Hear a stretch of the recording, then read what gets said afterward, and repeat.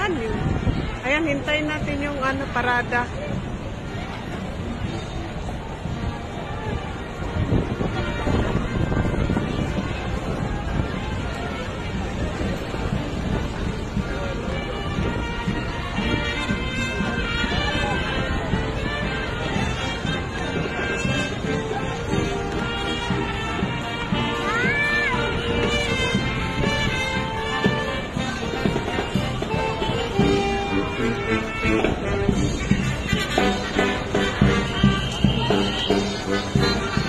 Thank you.